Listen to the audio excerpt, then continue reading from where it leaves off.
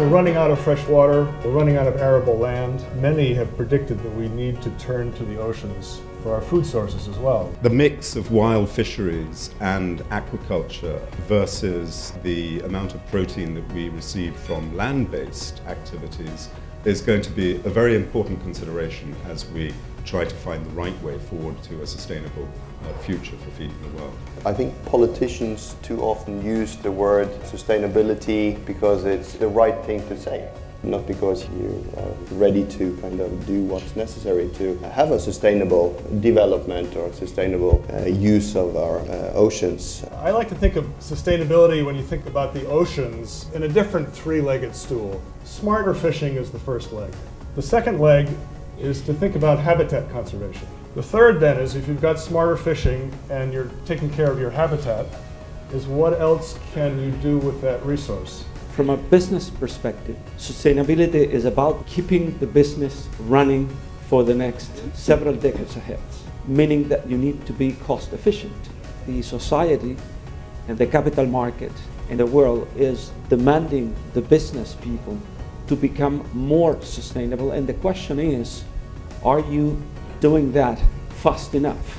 When you think of the economics of fisheries, you think of jobs. But when we look much broader than that, and we look at the financial value of what the oceans provide, the figures are actually a staggering 20 trillion US dollars per annum in terms of the services that the ocean provides to us. From the regulatory side, you need to work together with your neighboring countries, but you also need to work together with countries all over the world. Because fish caught illegally in our waters could end up on the other side of the world.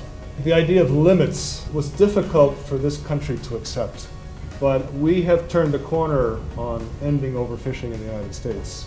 We're very proud of that, but you know we can't rest on our laurels. What are the myths that are slowly being dispelled around aquaculture? The first is that fish that has been farmed is less healthy or not as good as a wild fish. And the second is that we damage the environment by farming fish in the coastlines. There's a cultural change happening in this country in terms of how we think about aquaculture.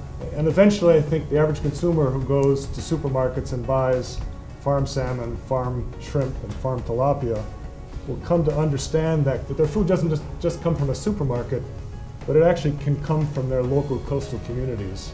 I think it's very good that the industry itself are addressing these myths, but I think also the government has a role in this because if the industry is telling their consumers that this is safe to eat, uh, maybe they don't trust uh, you as much as if third parties would say the same. We have a, such a wonderful story. I mean, if you compare salmon production, for example, on almost any ground to chicken or lamb or pork, in terms of uh, edible yields, in terms of the water usage, in terms of the carbon footprint.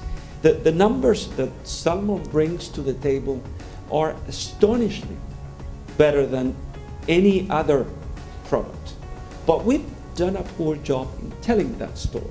Even though Norway and Chile are the the largest producers of, of, salmon in the world. In the total aquaculture production in the world, we're quite small. But if we can share uh, our knowledge how to produce food in the sea with countries like China, with uh, especially Asia, but also other parts in the world, I think that could help solve one of the um, kind of the, the main challenges we are discussing today, how to feed the world all these issues are so interrelated. If we don't deal with it systemically, then we really aren't, we're going to solve one problem and cause another. So we need to look at it in that holistic way. Becoming more sustainable implies that you become more cost efficient, you become more competitive, and the margins are higher.